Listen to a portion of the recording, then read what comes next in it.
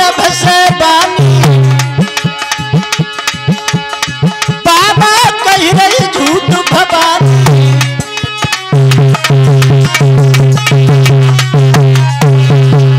सुनो भोले बाबा, सती मैया बिल्कुल झूठ बोल रही है।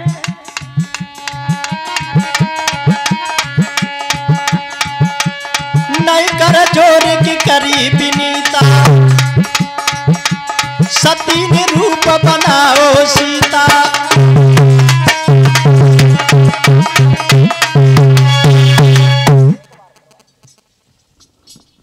आज जिस समय ये कहा कि सती जी बिल्कुल झूठ बोल रही है, सीता जी का भेष बना करके गई, लेकिन इनकी पहचान हो गई। सोई भोले बाबा हृदय में संकल्प ले गए कि तुम हमसे झूठ बोल गए? तो भोले बाबा रूठ गए। पर्वत पर चले गए। समाधि में बैठ गए। न पलक खोले और न मुँह से बोले। हृदय में यह संकल्प कर लिया कि तुमने जगत जननी सीता का रूप धारण किया है। तो अब मैं तुम्हें पत्नी का दर्जा नहीं दूँगा। अब सती जी विचार करती हैं कि भोले बाबा हमसे नाराज़ हो गए। हमने झूठ बोल दो जा से जे है। तो फिर अब हम ज़िंदा रह के क्या करेंगे? हम मर जाए बे बढ़िया सती जी विचार कर रही है कि अगर पति बूंदना है तो फिर जी शरीर छूट जाए जे बढ़िया है लेकिन आज की दशा आजकल अगर पतिदेव नाराज़ हो जाए वैसे चाहो हल्की हल्की रोटी करते हो। अगर गुस्सा है गई गए और ऐसा तो है ना है? लड़ाई तो घर घर में होते हैं। और नेक अनमन भाव तो वैसे तो हल्की हल्की रोटी करी दे और बाद में ऐसे कंडा से सरकावे और छोटो से बालक तो रह रहे इतना ले पे बापे रोटी दिया। हमारी नाई बोल। बताओ इसमें का करई भागवत। भागवत। सुनना वो होता है जो अच्छी बात मान के जाओ।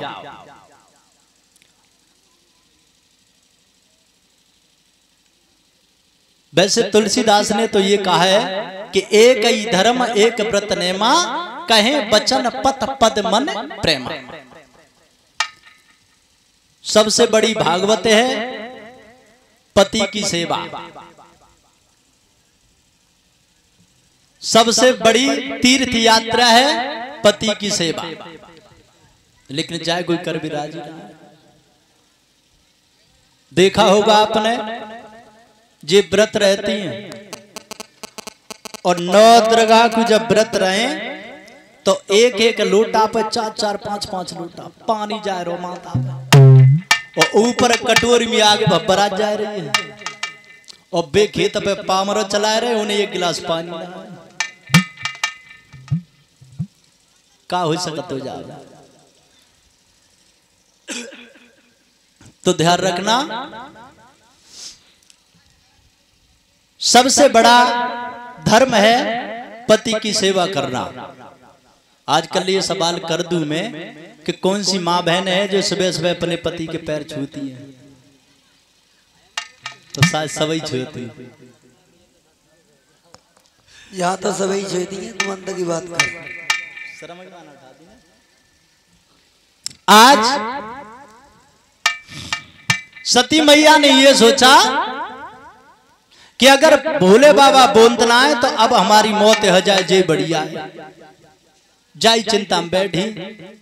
काउ दिना तो बोलेंगे काउ दिना पलक खोलेंगे। लेकिन भोले बाबा की समाधि खुली तो कब? सतासी हज़ार साल के बाद। जब समाधि खुली तो भोले बाबा ने पलक खोले मोहते बोले, मगर वो दर्जा नहीं दिया जो पत्नी का होता है। तो सती जी ने यह देखा कि आकाश मार्ग से देवता अपने अपने विमानों पर बैठ के जा रहे हैं। तो सती मैया ने धीरे से भोले बाबा से एक बात कही, महाराज, जी बताओ ये देवता कहाँ जा रहे हैं? बोले बाबा ने कही कि ये देवता तुम्हारे पिता दक्ष ने यज्ञ किया है उस यज्ञ में शामिल होने के लिए जा रहे हैं। ए महाराज और तुम क्यों ना जा रहे जवाब दिया कि हमें तुम्हारे पिता दक्ष ने न्योता नहीं दिया। छिकवा दिया है। तो उस समय ये दक्ष सबसे बड़े राजा थे। बड़ा अधिकार दक्ष जब पावा। तो प्रभुता पाए किने मदनाई जाके हाथ में सत्ता आ जाए उसे घमंड न हो ऐसा तो हो ही नहीं सकता। तो भोले बाबा को इन्होंने छिकवा दिया था कि इन्हें कोई यज्ञ में भाग नहीं देगा। बड़े राजा है। तो राजा की बात तो कामयाबी है। और तुम विचार करो जितने गलत कर्म होते हैं वो बड़े ही आदमी कर पाते हैं छोटे कर को लेंदे हो सामर्थ कून दोष गुसाई रवि पावक सुरसर की नाई। सामर्थवान को कोई दोष नहीं देता।